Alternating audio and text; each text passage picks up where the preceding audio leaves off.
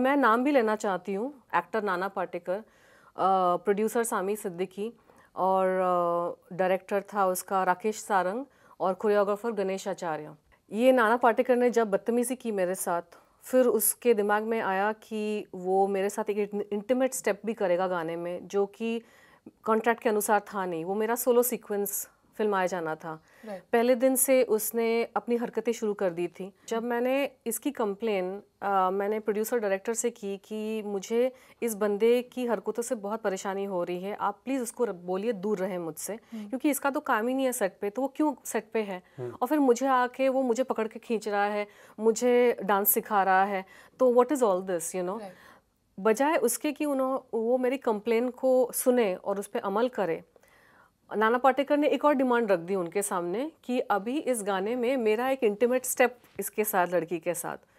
मतलब आ, लड़की नई एक्ट्रेस है यंग एक्ट्रेस है तो चाहे ज़रूरत हो ना हो उसके साथ इंटीमेट सीन कर लो। राइट यू नो तो ये तो अपनी ठरक निकालने का एक साइड का तरीका है। Planet Bollywood news Monday to Friday at 7 PM only on Zoom